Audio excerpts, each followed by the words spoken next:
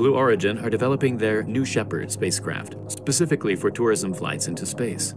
This capsule has six seats with the largest windows ever seen in a spacecraft.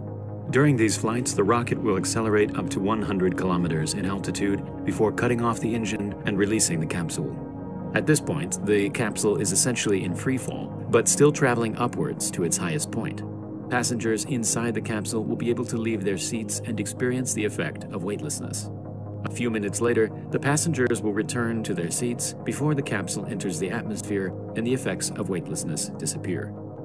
The reusability of this rocket could give customers a chance to experience the wonders of space from a price as low as $200,000.